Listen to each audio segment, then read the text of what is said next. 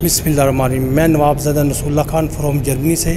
मैं नहायत ही शुक्रगुज़ार हूँ सुन्नत टी वी वालों का कि हाफ़ ख़ास तौर पर खसूसी हाफज मोहम्मद अली नक्शबंदी का कि जिन्होंने मुझे यहाँ नात खाने के लिए बोला है। मैं तो पंजीतन का गुलाम हूँ। मैं तो पंजीतन का गुलाम हूँ। मैं मुरीद खैरुल अनाम हूँ मैं तो पंजीतन का गुलाम हूँ।